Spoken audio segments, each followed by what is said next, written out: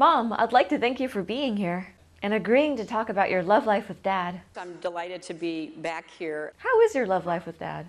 Um, it's, it's somewhat maddening to not be able to uh, participate as much as I would like. Is it true that you recruit women for threesomes with Dad?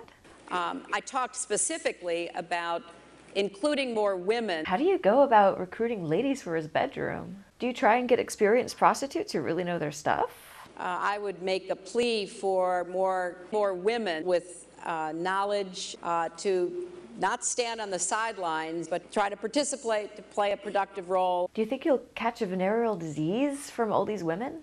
It is inevitable. Keeping up with new diseases, it's something we worry a lot about.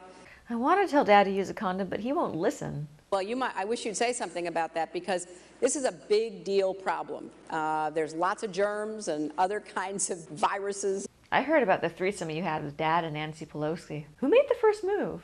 Uh, no one was quite sure the best way to respond to what was getting ready to happen. So you basically had a pretend marriage with Dad to get political power, is that correct? How would you characterize that kind of relationship? It's been a very rewarding uh, and very uh, satisfying kind of uh, partnership. What kind of ladies did you recruit for Dad? Women in different backgrounds, different cultures, different histories. What was Dad's main criteria for hiring ladies? Uh, to be readily available at an affordable price in enough places. What is it like sleeping with Dad now that he's older? Um, you know, it's messy. It's not something that uh, seems to work as well as you wish it would. Really?